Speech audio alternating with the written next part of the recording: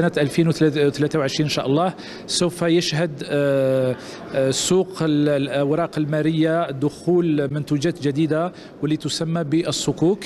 وهذا مرافقة آه، أو تتميمة للصيرفة أو المالية الإسلامية التي بدأت في الجزائر يعني تتموقع في الميدان المالي. نريد كذلك أن نموقع البورصة كوسيلة لتمويل المشاريع كوسيلة كذلك ذلك ل آه، يعني وصول إلى أهداف الشمول المالي لاستقطاب ربما الأموال المتواجدة خارج المنظومة البنكية ربما الأموال كذلك المكتنزة عند المواطنين. نريد التقرب من آه، المنظومة الجامعيه لأنه آه، شبابنا وطلبتنا يعني الطلبه الأعزاء لهم رغبة في دخول عالم البورصة.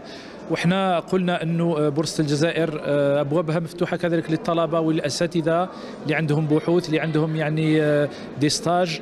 إحنا نتقبلوا أنهم يعني راهم آه، ضيوفنا. وإن شاء الله بهذه الطريقة نغرسوا فيهم ثقافة البورصة.